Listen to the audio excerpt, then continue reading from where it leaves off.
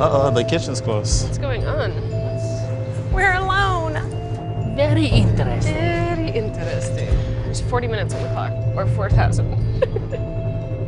It kind of reminded me of like a scene from a horror movie. You know, like the, the kitchen is dark, Padma is missing. We really have no idea what is happening. It's kind of dark in here. There's literally no one around. No television producers, no judges, like no one. It's eerie. All of a sudden, my back pain doesn't feel so bad right now because I'm worrying about something else. Katsuji, jump up front and act like you're Padma or something. Hi, chefs. Today, actually, it's a cleaning day at Top Chef. We need to break down the ovens. You've got singles all the way down, where you're looking, you're hunting for singles on the left side. Where's Padma?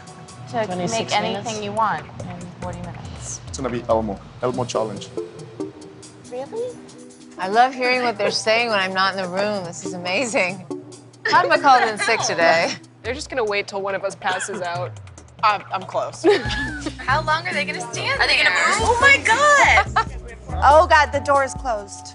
What's the door closed? That door. well, that, that, that door's no, closed too. no, not for quick fires. Okay, just Back the doors door. Closed, guys. Oh, it's starting.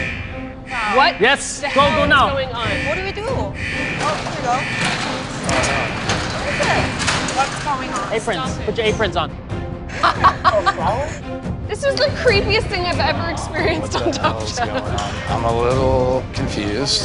Self-rising flour, all-purpose flour. Oh, we're making, we're making, uh, What?